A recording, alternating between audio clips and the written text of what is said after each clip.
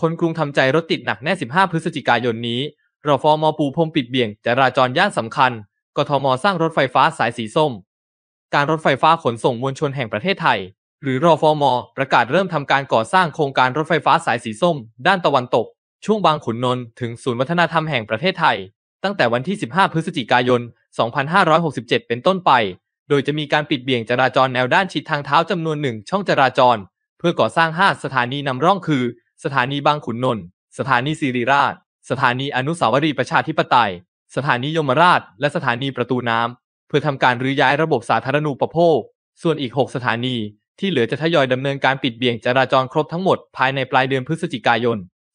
2567 ซึ่งรอฟอมอได้ร่วมกับกองบัญชาการตำรวจนครบาล และบริษัททางด่วนและรถไฟฟ้ากรุงเทพจำกัดมหาชน ผู้รับสัมปทานรถไฟฟ้าสายสีส้ม ในการวางแผนการจัดการจราจร เพื่อให้มีผลกระทบต่อประชาชนน้อยที่สุด ซึ่งทางตำรวจย้ำให้ทุกส่วนที่เกี่ยวข้องประชาสัมพันธ์ข้อมูลการปิดเบี่ยงจราจร พร้อมทั้งแนะนำให้ประชาชนใช้เส้นทางเลี่ยง และวางแผนเผื่อเวลาในการเดินทาง โดยเฉพาะช่วงเวลาเร่งด่วน เช้าและเย็นสำหรับรถไฟฟ้าสายสีส้ม ด้านตะวันตก ช่วงบางขุนนนท์ศูนย์วัฒนธรรมแห่งประเทศไทย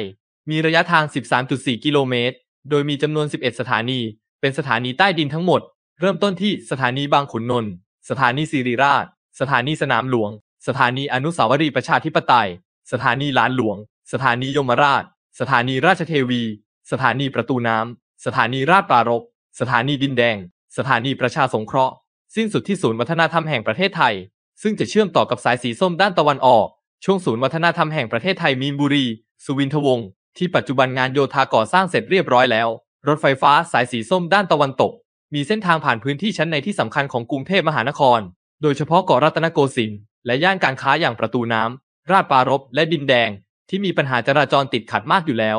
ดังนั้นการปิดเบี่ยงจราจรแม้เพียงหนึ่งช่องทาง ก็จะทำให้มีปัญหาการจราจรติดขัดในพื้นที่เพิ่มมากขึ้นแน่นอน นายวิทยาพันมงคล รองผู้ว่าการปฏิบัติการ รักษาการแทนผู้ว่าการการรถไฟฟ้าขนส่งมวลชนแห่งประเทศไทย กล่าวว่า ขณะนี้ได้เข้าพื้นที่สาธารณะที่ได้รับมอบจากทางกรุงเทพมหานครแล้ว ซึ่งเร็วกว่าแผนประมาณ 1 เดือนซึ่งจะเป็นขั้นตอนการเข้าสำรวจระบบสาธารณูปโภค ท่อประปา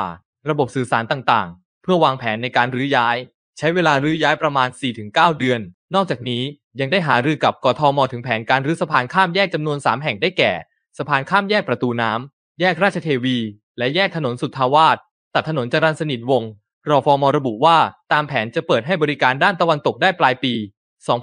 2573 หมายความว่า คนกรุงเทพต้องอดทนกับปัญหารถติดต่อไปไม่น้อยกว่า 6 ปี